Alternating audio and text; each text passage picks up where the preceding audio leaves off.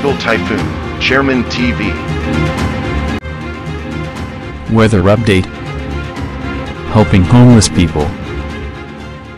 Please subscribe.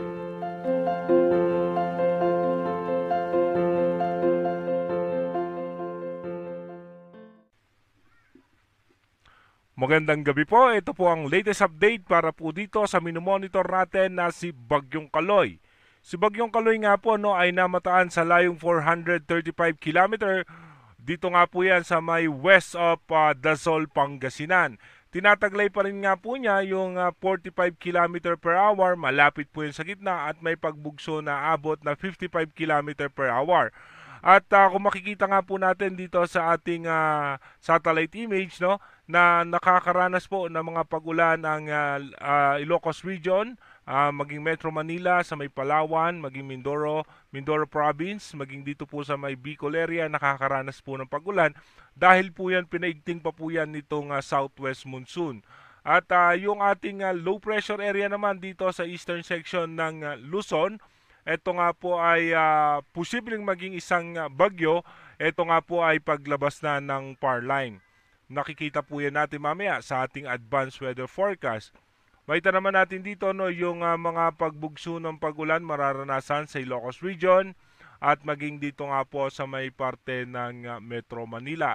Dito po sa Impanta Quezon, sa may uh, Palawan, maging dito po sa may parte ng Bataan, uh, sa may uh, Mindoro, Min- Occidental Mindoro, dito nga po sa may Aurora and uh, ilang bahagi sa may Quezon. Dito naman sa may Bicol region, makikita naman natin no, makakaranas ng mga pagulan dito po sa may Daet, sa may San Andres at uh, pulupulong pagulan mararanasan dito sa Legazpi at Caramoran. Dito naman po sa may Visayas, nakikita naman natin sa ating satellite image no, na makakaranas ng mga malalakas na pagulan dito sa may Roa City, sa Iloilo City, sa Sagay, Kabangkalan, Cebu City, sa may Dumaguete, at maging dito nga sa may parte ng uh, Buhol, sa Tacloban at sa may Silago. Dumako naman tayo sa may Mindanao kung saan nga nakakaranas din ng mga biglaang pagbuhos ng pagulan. Dito naman po yan sa may Dipolog, Cagayan de Oro, Kabad, uh, Kabadbaran, sa Bislig. Dito nga po sa may parte ng Surigao City, Cotabato, General Santos City at maging dito po sa Pagadian, sa may Siocon at sa may Sambuanga. Dito naman sa may Palawan kung saan nga nakakaapekto yung ating southwest monsoon posible pong makaranas ng mga pagulan dito nga sa may Batarasa, sa Balabac, sa Puerto Princesa at sa Taytay. Ayon naman dito nga no sa forecast track ng bagong pag-asa DUST by tomorrow din dito no uh, by 2 PM po uh, makakalabas na ng uh, Philippine Area of Responsibility itong uh, nasabing si Bagyong Kaloy. At uh, tuloy-tuloy nga po itong uh, lalayo ng ating bansa at bahagyang mag-intensify into tropical storm. Dumako na tayo sa ating advanced weather forecast. Ayun nga po no, sa ating advanced weather forecast, makita natin dito by uh, June 30, posible nga po no, na lalab- nag-intensify na ito at uh, lalabas na ng ating uh, par line.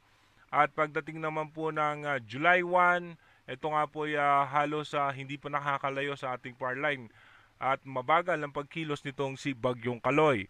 Pagdating naman ng hapon ng July 1, ito nga po ay mas malapit na dito sa may parte ng uh, Hong Kong.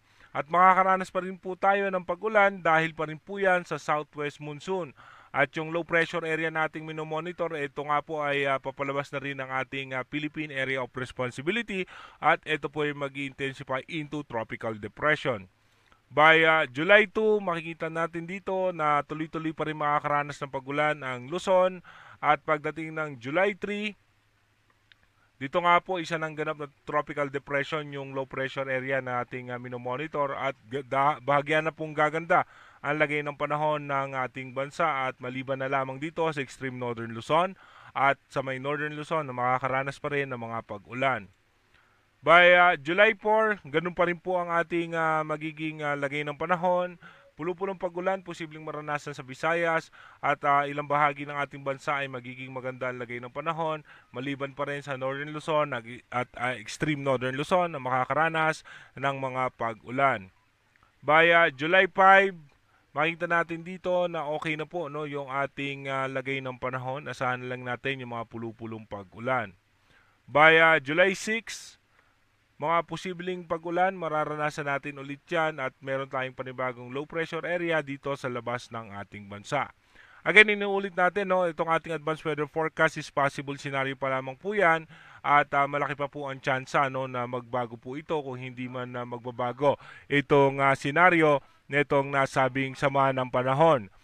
Ah, maraming salamat po. Mag-iingat po tayo palagi. God bless po sa ating lahat. Copyright disclaimer under Section 107 of the Copyright Act 1976. Allowance is made for fair use for purposes such as criticism, comment, news reporting, scholarship, and research. Fair use is a use permitted by copyright statute that might otherwise be infringing. Non-profit, educational, or personal use tips the balance in favor of fair use. Disclaimer Please note to copyright infringement is intended. I do not own some materials, images, video clips, nor audio clips used in this video. All content used fall under the remits of fair use. If happen that someone claims their ownership of the said materials above, I will not hesitate to remove them immediately.